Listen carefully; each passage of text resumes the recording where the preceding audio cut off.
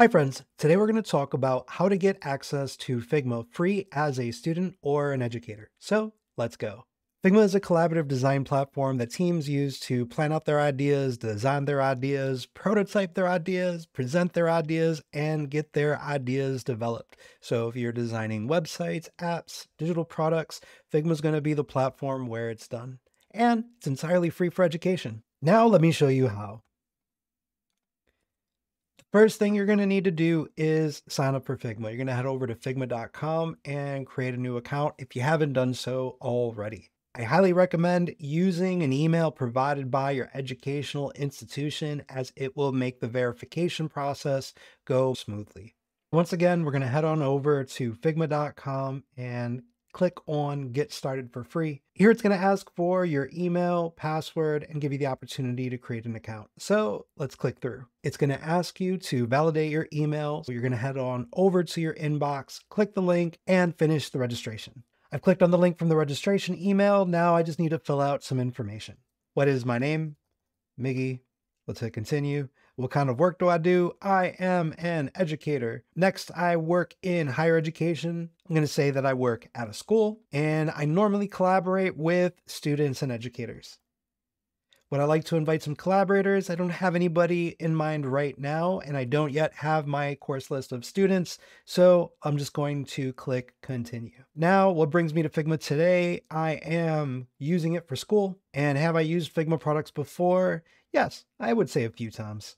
Now it's going to ask me which plan I would like to use. If you pay attention, you'll see that the professional plan is free for education when verified. Let's click on that verified link and see what happens.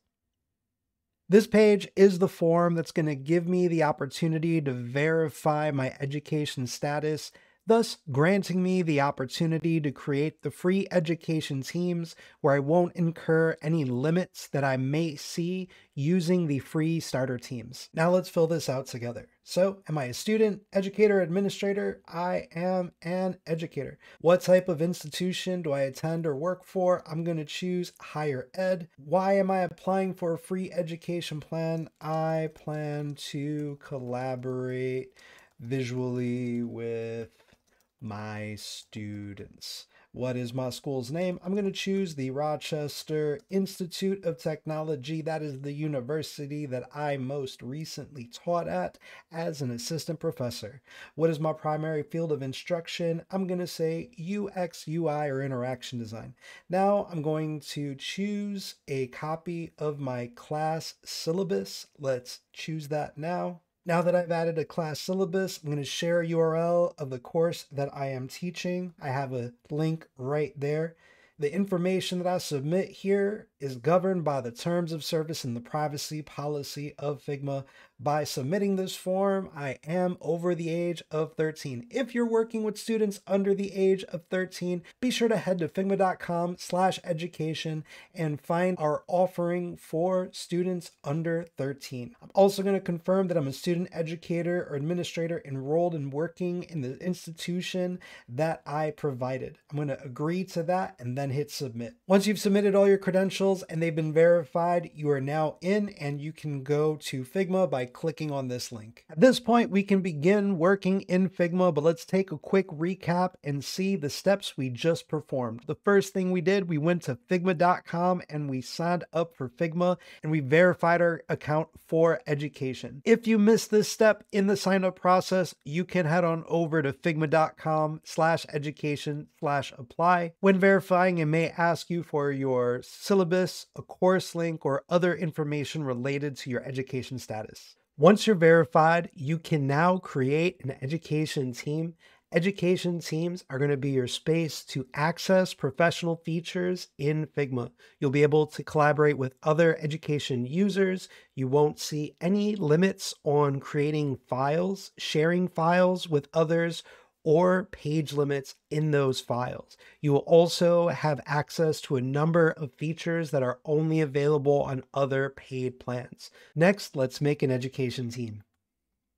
Here we are in the Figma file browser. Let's go over a few things. Over here in the top left, you can access your account and change any settings related to your account.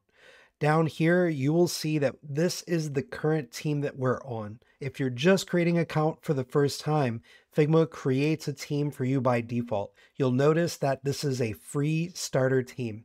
Because we've verified for education, you'll see this little window here that gives us the opportunity to upgrade the starter team that we have to be an education pro team. So let's go ahead and do that.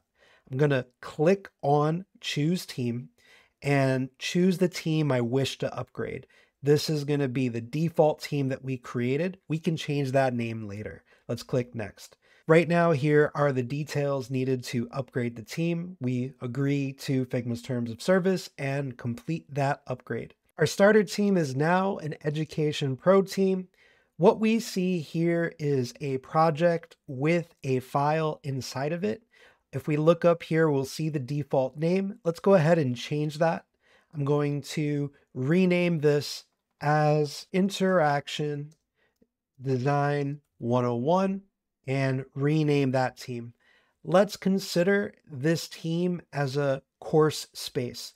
This will house all of our files. Any projects that are in this team are essentially folders, ways to organize our files. This team is also a place where you can invite your students to collaborate for this course. Let's say you want to create another team for another course that you may be working on. We're going to come over here to the left, click on this dropdown and create a new team. Let's begin by giving it a name. Let's say Innovation 201. Let's create that team. It's going to ask us next if we have any collaborators. You can skip that step.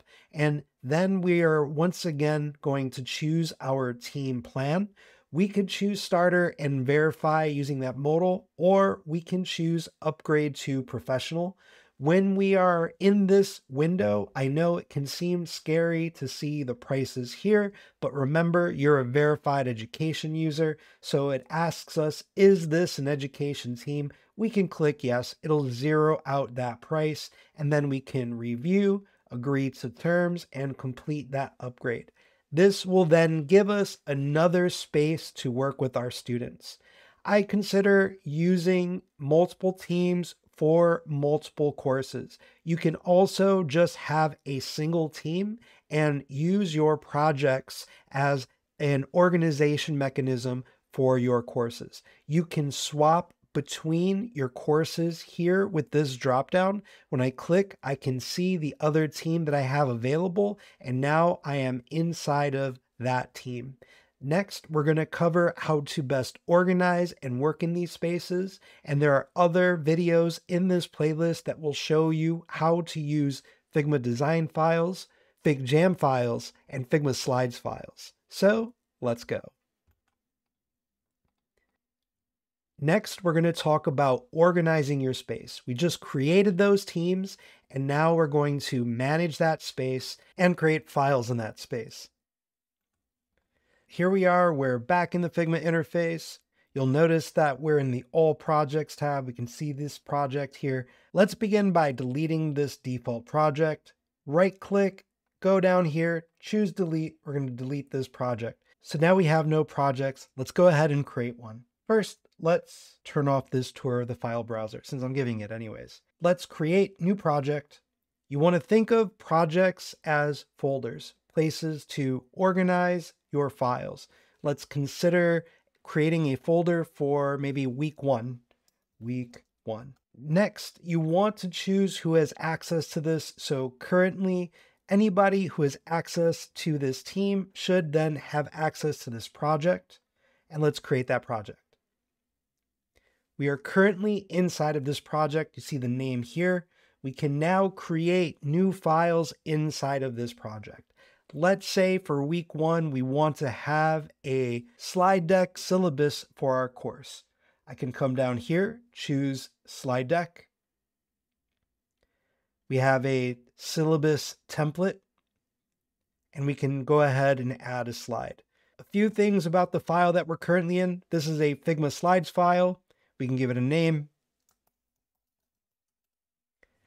And you'll notice underneath that it is currently located in the week one project. If we click on that, we are then back in this space and we can see the file that we created. When we created this project, you'll notice that it is starred and it is in this left pane. Now, anytime you go to all projects, you'll see a listing of all your projects. Let's create another project. This time, this might be activities. Press continue, choose who has access, and remember, you can give view only access, or you can remove access from the entire team. You can create a project that only a few have access to. Let's leave this as can access and create this project. There is our activities project. Notice it is starred in this left pane. Here, any projects that you have starred will show up. Next, I'm going to point you to your drafts folder. Your drafts folder is going to be the place for your files. So files that you don't want to share with others on your team, that's going to be in your drafts folder. So if you are creating a new file, you're still working on it, you don't want to share it with your students, place it in the drafts. Let's say I have this Figma Basics file and it's ready to go. I would much rather share it with my students or share it with other folks that I'm collaborating with. I can drag it and move it into another project. So in my drafts, it's just for me. It's something that I'm starting to work on. And if I go to all projects, I can see the projects, I can go into week one, and I can see the file that is currently in week one. If you want to change the view of your files, you can always go up here and swap between a list view or a grid view.